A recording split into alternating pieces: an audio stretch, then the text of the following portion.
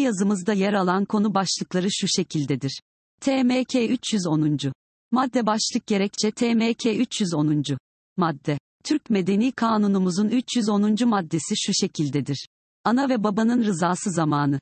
Madde 310 rıza, küçüğün doğumunun üzerinden 6 hafta geçmeden önce verilemez.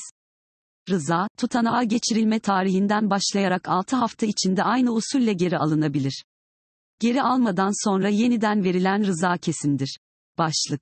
TMK 310. maddesinin ait olduğu bölüm başlık ismi şu şekildedir. İkinci kısım, HISIMLIK 1. bölüm, SOYBA yumuşak GININ kurulması 4. ayırım, evlat edinme.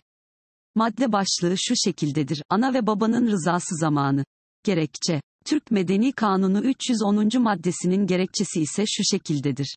Ana ve babanın verdiği rızanın zamanını ve geri alınma koşullarını düzenleyen bu madde İsviçre Medeni Kanunu'nun 265b maddesinden aynen alınmıştır.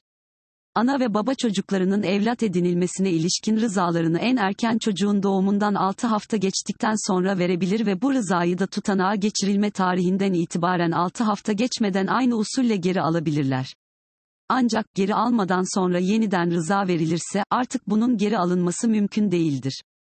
Son düzenleme tarihi 30 Mart 2021 14.38.